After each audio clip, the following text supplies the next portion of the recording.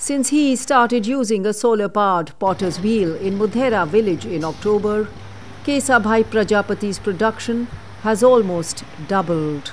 Time was. I can make more pots in less time now. Earlier, it took a lot of effort to rotate the wheel manually, but now it runs on power. Solar lamps are helping children study longer hours in the evening.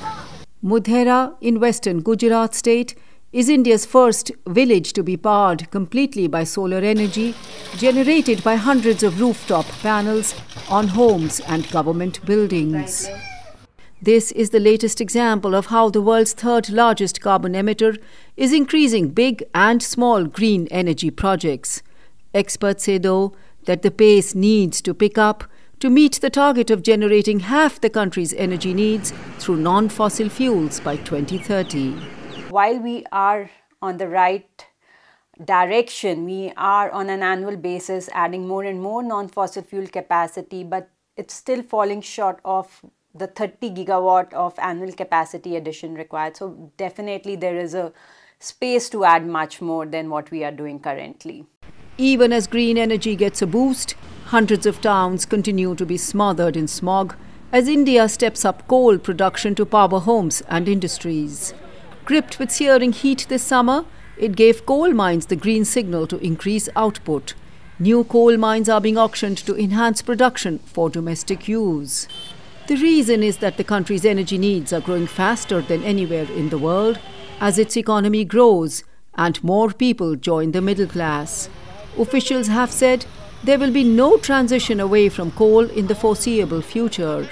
Experts say India faces a genuine dilemma in balancing its climate goals with its development needs. we need to look at how economy is bouncing back uh, demand has been growing and we've also seen even incidents of heat wave added to the more uh, demand for electricity because people started using uh, air coolers and air conditioning much more The disruption in the world's energy markets this year also made it harder for India to wean itself off coal.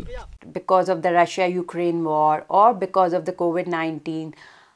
From the energy security perspective, um, all countries, including India, has started looking inwards and start to exploit more and more of its domestic resources. And India is endowed with domestic coal. So definitely, there has been in the last few months uh, more emphasis on increasing the use of coal. India's rising dependence on coal could pose a challenge in achieving its target of net zero carbon emissions by 2070 that is critical for tackling global climate change. Anjana Pasricha for VOA News, New Delhi.